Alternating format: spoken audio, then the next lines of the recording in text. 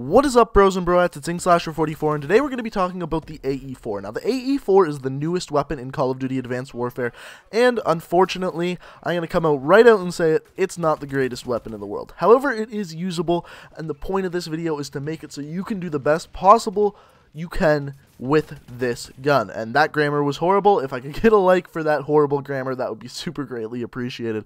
Uh, but let's get right into talking about this weapon. So what are some things you need to go know about this gun? First of all, there is one problem with this gun. It does not shoot through walls. Pretty much every laser gun in this game just does not shoot through walls.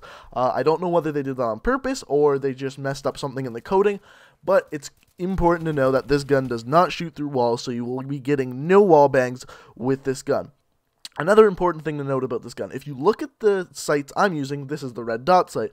I'm using the red dot sight because I don't like the iron sights on this gun. A lot of people do like them, and I understand why. They are a lot like the red dot sight, however, there is no red dot on it. Uh, the problem I have with it is that when you fire this gun, the bullet you shoot actually looks like the dot of the red dot sight and throws off my aim and the fire rate is incredibly low on this gun, which means you need to be super, super accurate with it. So, speaking of the fire rate, we need to get right into these stats. So, what are some things you should know about these stats? So, at an up close range, you are going to be getting a 3 bullet kill, and once that range extends a little more, you're going to be getting a 4 bullet kill. You will never have more than a 4 bullet kill, and that is the best part about the AE4. It is the by far the highest damage assault rifle in the game. So, 3 to 4 bullet kill. That's really important important to note. However, where this gun lacks is in the fire rate. The fire rate of this weapon is 500 RPM. Now, it doesn't sound so bad until you compare it to a gun like the BAL or a more comparable gun, the AK-12. If you're looking at the BAL, the BAL's fire rate is 857 RPM, and the AK-12's fire rate, which is very, very comparable to the uh, AE-4, just because it's a low recoil gun with high damage, is 750 RPM. So the problem with the AE4 is that the fire rate on it is so freaking low, especially because a lot of the maps in this game you're going to be getting into close range gunfights. Close range gunfights really do need that high fire rate, and so many guns in this game have that high fire rate, but the AE4 does not.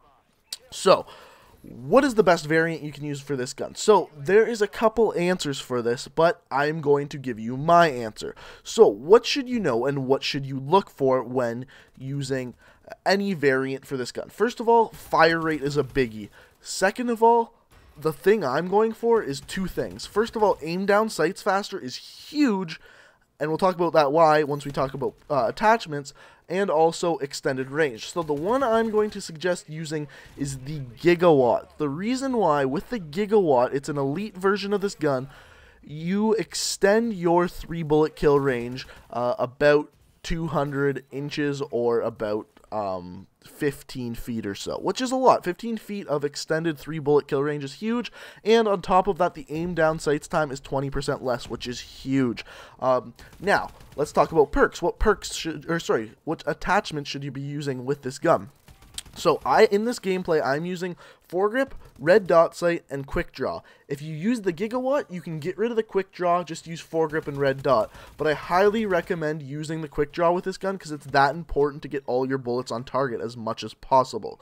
Uh, because of that low fire rate and because that the bullets do so much damage that you need to have every single bullet count.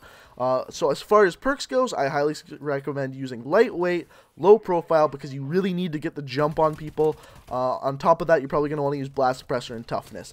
As you can see, I'm only using two kill streaks in this because there is really no point of using any more than two kill streaks. Uh, this gun isn't the greatest. It's going to be really hard to rack up those high kill streaks. But these are my thoughts on the AE4. Uh, these are the stats. These are the cold hard facts. I hope you guys enjoyed. If you did, go ahead and leave a like rating. Be super greatly appreciated. And until next time, guys. Peace out.